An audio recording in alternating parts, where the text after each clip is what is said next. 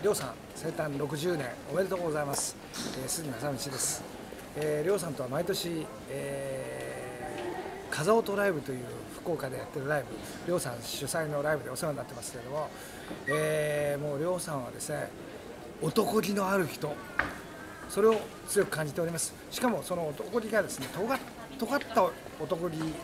だけではなくこう包み込むような優しいこの男気を感じております、えー、僕はあの2年前に60を超えましたが60を超えると楽しいことがいっぱい待っております、えー、りょうさん今年もそれから来年もまたずっとその先も、えー、いろんなことでお世話になります。おめでとうございました。杉村さんです。